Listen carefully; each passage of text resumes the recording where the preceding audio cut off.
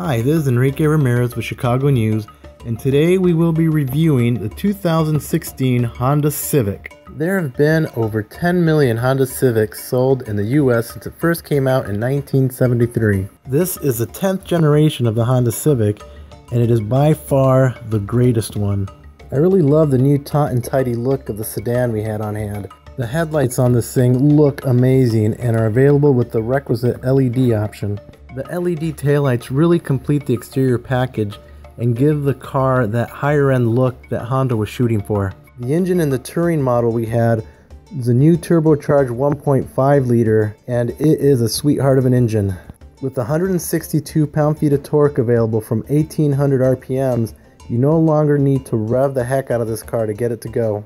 Not only do you get the great performance out of this engine, you get great mileage as well. You can get as high as 42 on the highway.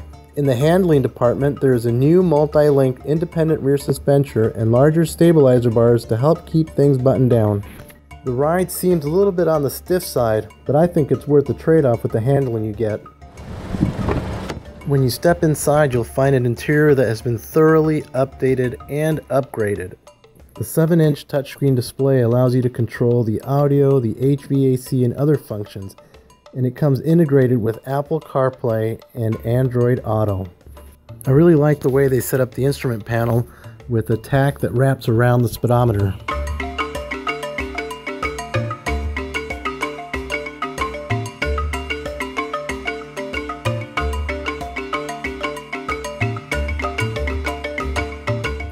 The fully decked out Civic Touring we had stickers right around 27,000 for that, you get a fun, economical car with all the latest and greatest safety features. Overall, the 10th generation Honda Civic is a massive improvement over the previous generation, and you get a whole lot of car for the money.